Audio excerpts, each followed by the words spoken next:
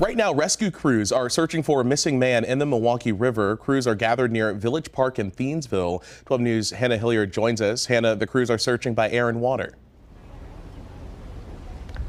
They are, Jaron. We've seen police out here, Ozaukee County Sheriff's Office, fire and rescue crews and now we've seen the Wisconsin Department of Natural Resources. Just seconds ago, they were in a boat here in the high Milwaukee water, Milwaukee River water here in Thiensville near Village Park. They're actually searching near this dam. It's where you see the white water here along the river. And the DNR were told they're using special sonar technology to surf be search below the dangerous and fast moving water. Water rescue at Village Park in Thiensville.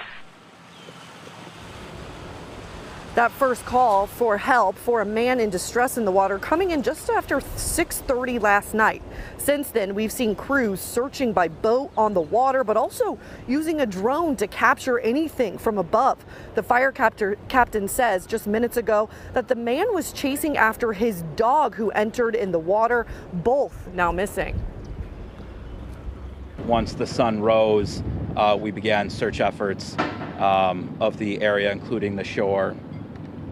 This morning, uh, Wisconsin DNR came with their sonar device, which is able to look underwater for anything um, that would be indicative of the, the missing person. Is this currently a recovery or a rescue mission? Uh, currently, we have switched into a, a recovery.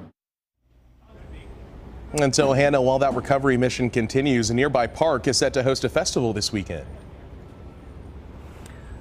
Right. So as we see all the, the emergency response crews up there on this dock, right next to it in this lot, you have set up for Lion Fest well underway of all of these rides, food vendors out here. Now, Lion Fest, the carnival portion, is set to open up tonight here in Village Park. Now, the fire captain says that they may still have search crews out here at the time, even as festival goers start to show up, but they are going to put some barricades up along this high water line that we're seeing here near the boat ramp. Yeah, just pretty incredible to see how high that water is there at Village Park. Hannah Hilliard reporting live for us this morning in Thiensville. Hannah, thank you.